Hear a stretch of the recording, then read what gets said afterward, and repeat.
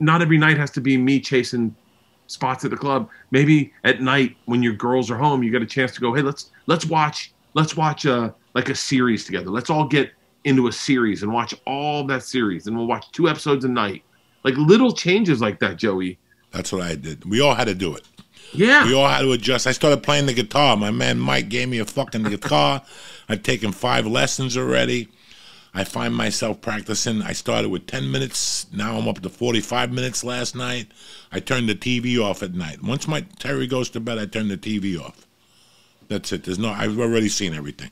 What Yeah. new fucking show? I can't sit there and focus on a new show.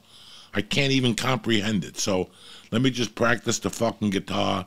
I'm up to my second song I'm playing. I'm learning, you know.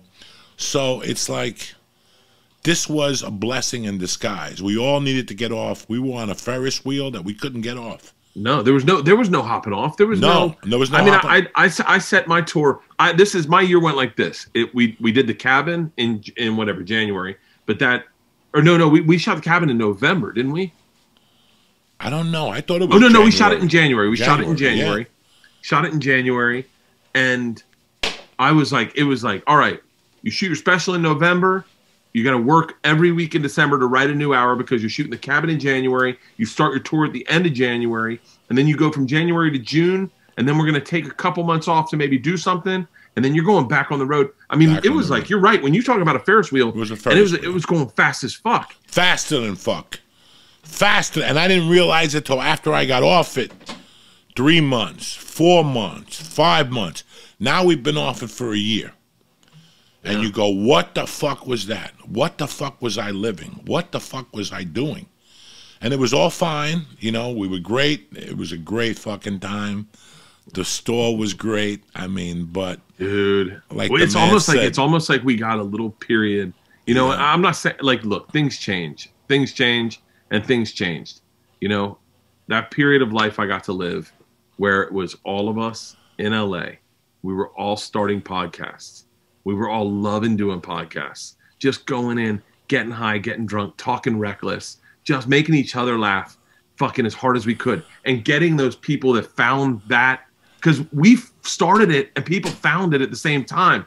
And you'd go in and do fucking the Ice House Chronicles where it was all of us just tag teaming doing spots and getting fucking wasted, having so much fun. And then going to the store and like the lineups just being like the most insane lineups you've ever seen in your entire life. That's, that is a, that is a slice in comedy. I, I, I hate to say things have changed, but they have. You know, I think it's changed for changed for the better for a lot of things. I think it'll be fun to go down, like me and you were talking about, going down to Austin and getting to experience that world. That's going to be fun. Spending a September. week there. September. I will meet you in Austin. I'm going to do uh, JRE, I think, hopefully, hopefully with uh, the creator of The Sopranos, David Chase, to promote the movie that comes out September 24th. So that's what I'm hoping. So I'd love to see you down there. I'd love to see you when you come back from uh, wherever the fuck you're going. And I got- I'm- I'm gonna- I'm gonna be going- I'm gonna be- show. Once everything opens up, I'm going to be traveling a lot and going, go out to New York and spend time in New York. You know, like and go. All right, I want to. I want to see Big Jay. I want to. I want to spend some time at the in the city doing spots. I want to go out and see you and Terry and Mercy. I want to come. I'm gonna, you know, go out to where all you guys are, have dinner with everyone, like Vos and Florentine and you, and like go. Do, like I really want to, because I think you know, or go to Austin and stay there for like. I was telling Joe, I was like, you know, I'm I'm gonna be there for a week every month to do Two Bears One Cave, and I go. I plan on being a regular at at at, at in Austin, and you know, and being a regular in LA, and just looking at things and the way that things work now with Zoom, you can live wherever the fuck you want. If you want to travel, want. yeah, Yeah. if you want to travel, you can travel. Bird, I, uh, I miss you. I miss your family. Joey, I miss you so much, man. Uh, I don't know what you're gonna do once Tom leaves. That's your other support half over there. it's we just me and Whitney. You and Whitney. We had a and Bert and Bill. You know, And Bill's Bill. not going nowhere. You know, uh, Sebastian, Sebastian still stayed. yeah, Has anybody talked to him? yeah, I did, I did. I, I'm, he's doing a podcast. We're doing a podcast in a week. Okay, Um, I yeah, just did his. I just did one of his shows with him. He's great. He's. I mean, it's a small group that's staying out here, but I think you got. You know, you guys will come out for you know, for at times to shoot stuff and do stuff, and maybe the Listen, store, the store, I'm the store's I'm not gonna going to let be. this. I'm gonna let this blow over. I'm gonna fall in love with stand up again, Yeah, and then uh, we'll see each other. But if not, just plan on September in Austin for sure. September in Austin. Let's make it a date. Date. It's done. I love you. I love you, Joey. I'm happy you took the time today to do this because I was just dying to see. you. I was telling people that you know we talk. That's great. You talk on the phone, you say hello, but to see somebody and to see him a year later and to see how we've progressed and that we're still here and that our podcast is still good and we're trying. It, it's it's just fucking great, Bird. I miss you. I'm gonna miss you when you're away. If you could text me from time to time and just say what's Will. happening, motherfucker. I I don't will. think I could. I don't think my text will reach half around the world, but uh, just keep me posted. Say hello to everybody, and keep loving those girls because I know. I think that's what happened here. Also, our house got so much stronger. There were two things that were going to happen for guys like you and me. Either we were going to divorce LeeAnn or Terry, or our love was going to get stronger. Either Yeah. they realized how much of a loser we were when we were around full time, because you and I were type of guys that we're around full time. We're big. You know what I'm saying? There's booze, there's reefer, there's smoke coming out of the fucking rooms. And uh, what's the story on Netflix? They renewing your show? What have you heard? I don't know. I don't know. We're gonna gotta.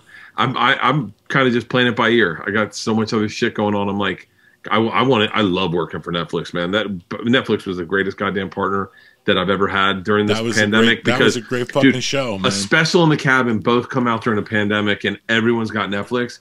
I could not thank those group of people enough, Enough. for the opportunities they've given me. I will do whatever they want to do in the future. I will do it for whatever they want to pay me. I don't give a fuck.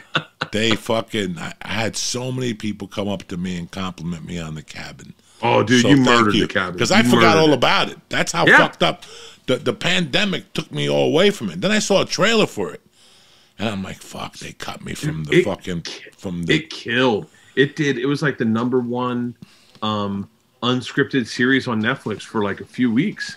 Like uh, it was like n- trending. It was trending. You like when you if you can get trending, that's fucking that's big numbers, and it it murdered. It was. I got a call from Netflix right when it right when it's dropped, and they were like uh, they were like enjoy your success, enjoy your smash hit, and I went holy shit. now I so- knew what an emu is. I never knew what an emu was before that. Now I know what the fuck an we did that is. all before cancel culture was big. We did everything, and Oh you were telling us, "Don't do it, don't do it. I don't want to be in this shot." I just uh my daughter, you know, she's getting older, so she's throwing away, she's getting rid of some toys. And in Yeah. the garage when I pulled in today, you know, I knew I was gonna talk to you today, but for some reason I looked at, you know, she's got her Barbie doll houses downstairs and she goes, I'm gonna get rid of them, Dad. And today I looked at them and I thought about the night Ralphie fell on your dollhouses. if I don't think about that once a week, I'm lying to you, Joey, dog. I think That about. I wish I had video of that. I wish I had do it was doing video on the podcast because my favorite was me and you. Ralphie's sitting right there. You're sitting right there. I'm sitting right there. And you're telling me a story, and, and Ralphie falls asleep. Oh my god! and you don't stop telling the story. You just look at me, raise your eyes, point to him, and go, and you just keep telling your story, and we can hear him going.